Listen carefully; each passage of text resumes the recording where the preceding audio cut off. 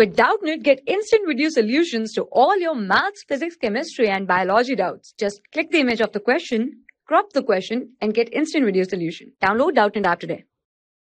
The given question says that prove that the area of an equilateral triangle described on one side of a square is equal to half the area of the equilateral triangle, equilateral triangle described on one of its diagonals.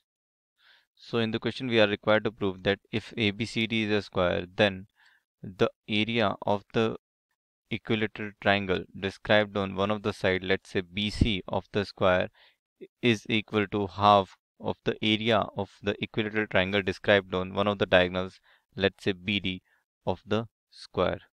So we are required to prove that area area BCE is equals to half of area BD F.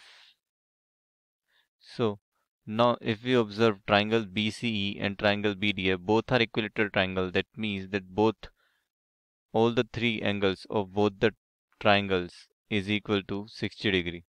That means all the three angles of both the triangles are equal to each other. So by angle angle similarity criteria we can say that triangle BCE is similar to triangle BDF.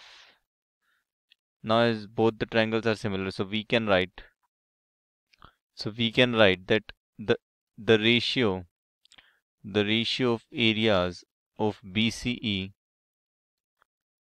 BCE and area BDF will be equal to the ratio of the sides that is BC divided by BD whole square. Because we know that when two triangles are similar then the ratio of their areas is equal to the ratio of square of their corresponding sides so we will have BC divided by BD, BD whole square.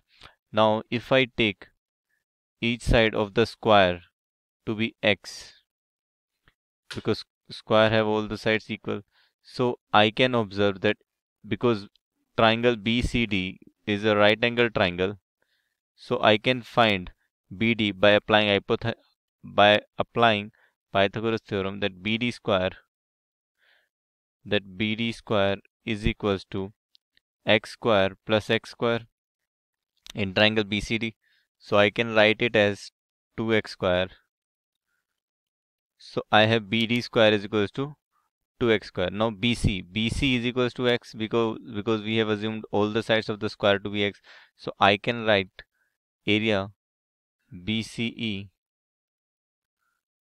divided by area BDF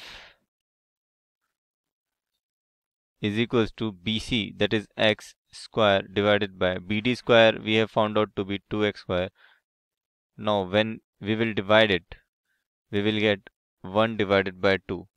So now this BDF when it will go to the right hand side of the equation we will get area area BCE is equals to half of area BDF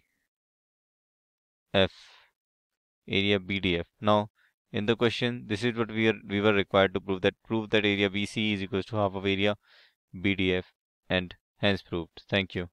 For class 6 to 12, IIT JEE and NEET level. Trusted by more than 5 crore students. Download Doubtnut app today.